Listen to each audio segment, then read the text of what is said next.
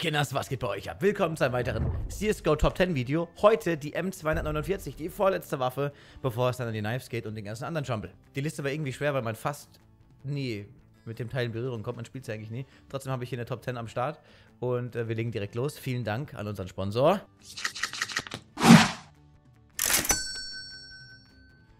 Skin Baron. Hier könnt ihr Skins kaufen und verkaufen und dann noch Geld sparen.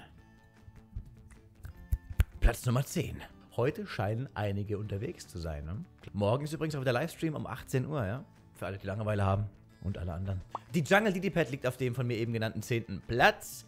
Sie sieht jetzt nicht sonderlich krass aus, aber ist äh, bei den Skins schon noch bei den hübscheren Skins dabei. Der Preis liegt bei sagenhaften äh, 1 äh, bis 8,50 Euro. Würde ich jetzt nicht zuschlagen, überhaupt nicht. Platz Nummer 9, M249 Blizzard Marbleized. Schön oder so.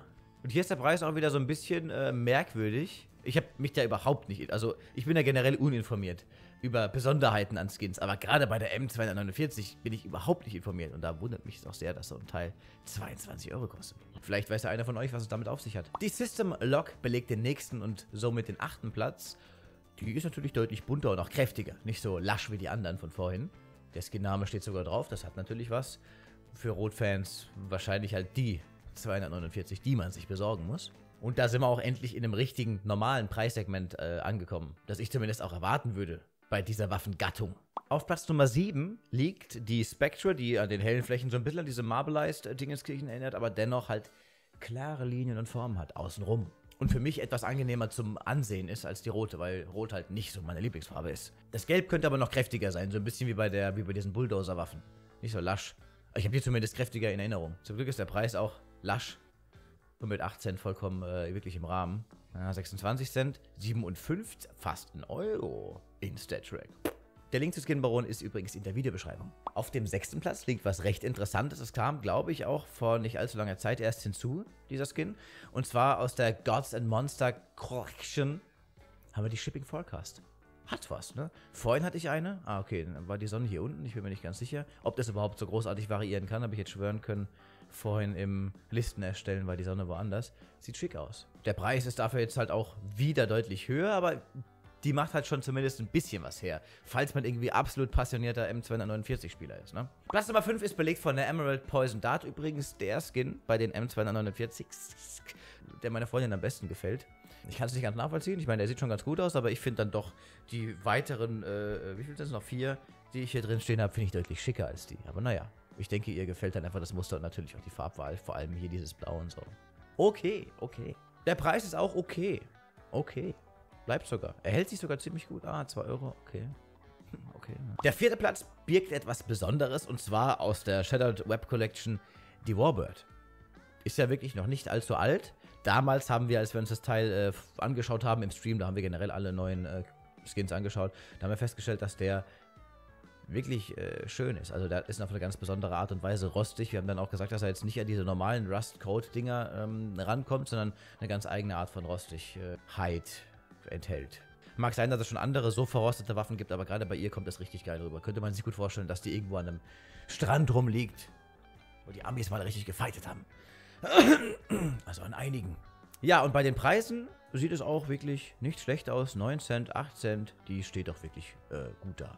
Jetzt kommen die oberen drei Plätze, Leute. Ihr könnt hier nochmal reingucken. Es ist ziemlich einfach, weil es echt nicht mehr so viele gibt. Was glaubt ihr, wie das Ranking so ist? Und habt ihr ein eigenes Ranking bei dieser Waffe?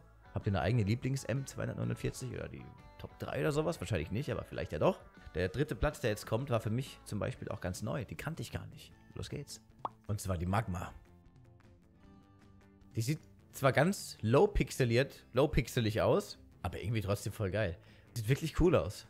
Die kannte ich überhaupt nicht. Ich weiß nicht, ob die letzte Mal durchgegangen ist oder ob die jetzt erst, wann war ein Winter Offensive Collection? Keine Ahnung.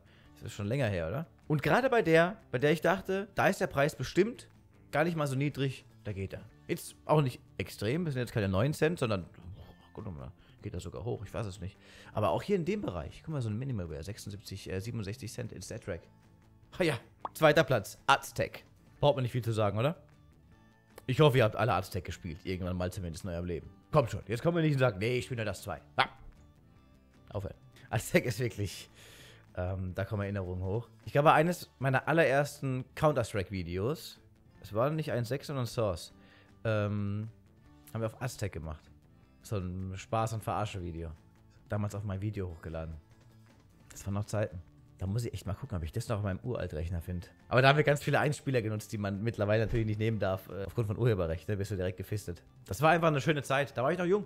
Ist eigentlich die Kamera auf Autofokus eingestellt? Ja, Preise gehen schon klar, oder? 30 Cent. Aber welche ist jetzt auf dem ersten Platz, fragt ihr euch? Tja, ah, natürlich die Nebula Crusader. Hallo? Was ist das für eine Frage? Star Trek ist immer mit drauf. Bei jeder. Auch ohne Star Trek. Ich weiß, das sind auch Rotanteile, ja. Aber in der Gesamtkomposition. Ja, ein Träumchen. Und finanziell auch ein Träumchen, oder? Also für so ein hübsches Teil, 75 Cent, komm. Komm. Auch wenn man sie nicht spielt. Und da sind wir mal wieder durch, Leute. War schön. Wir sehen uns dann morgen im nächsten Video und um 18 Uhr im Livestream. Vielen Dank fürs Zusehen. Vielen Dank für die Kommentare. Ich äh, hocke mich später wieder dran und beantworte noch die, die bis heute kommentiert wurden. Oder ich versuche zumindest alle zu beantworten. Ja, bleibt gesund. Kommt gut durch die Zeit. Gute Genesung. Bis morgen.